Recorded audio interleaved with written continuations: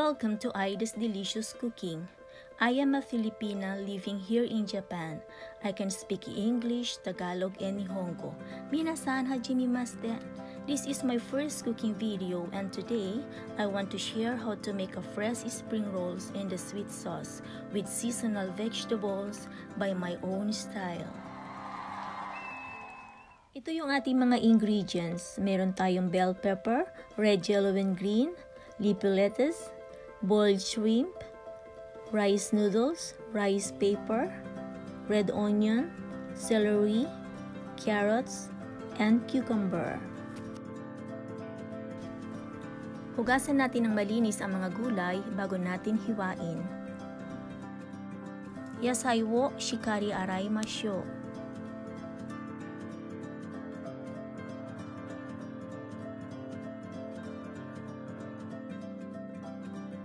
Tanggalin ang ulo ng hipon, balatan ng hipon, peel off the shrimp shell, edenokara wo muite, cut the back part of the shrimp and pull out the black vein.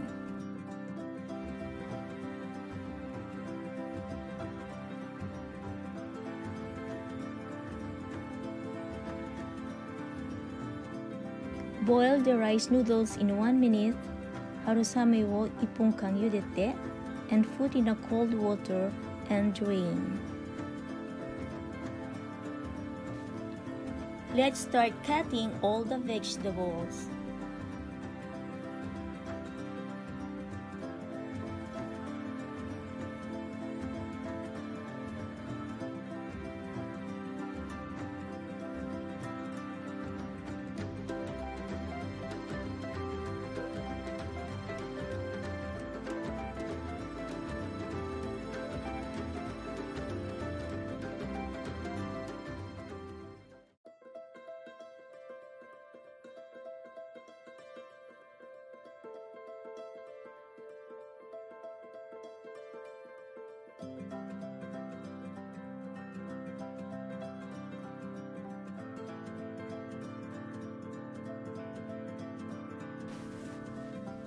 Nakaredy na ang lahat nating mga ingredients.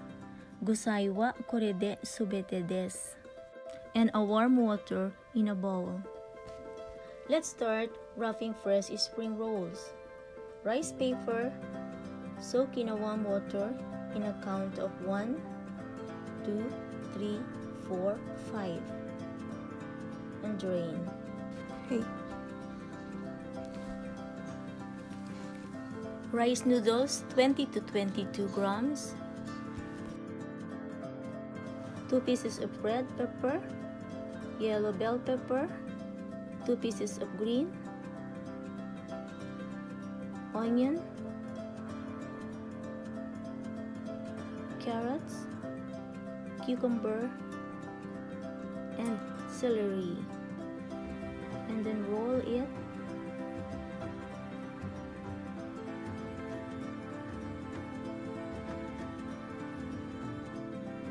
left side fold inside and the right side fold inside.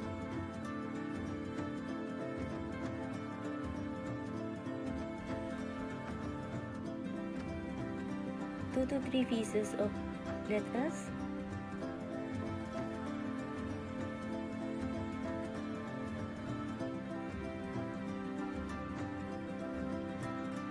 two pieces of vegetables, two shrimp, and then roll it carefully. And it's done. Ipagpatuloy lang natin ang mga natitira pang mga ingredients sa paggawa ng fresh spring rolls.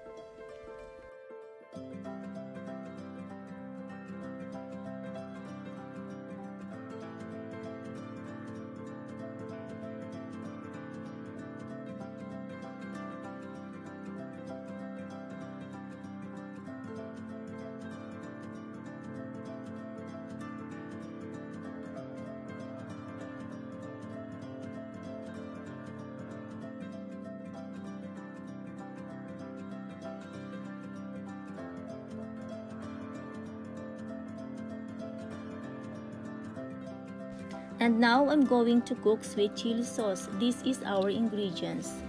2 tablespoons of crushed red pepper, a cup of sugar, 1 half cup of vinegar, 1 cup of water, 2 tablespoons of minced garlic, 2 tablespoons of cornstarch, and water to dissolve, and a pinch of salt.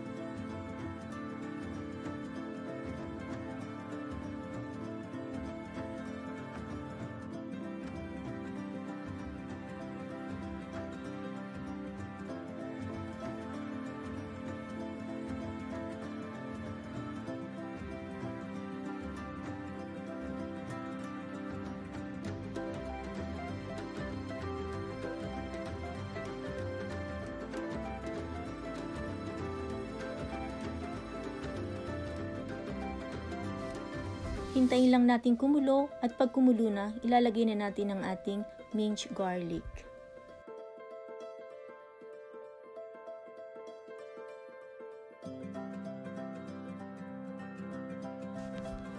Haluin lang mabuti at pag kumulo na, ilalagay na natin ang cornstarch na idinisolve sa water.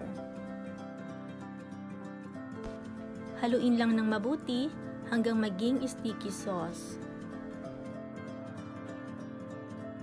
Cool it down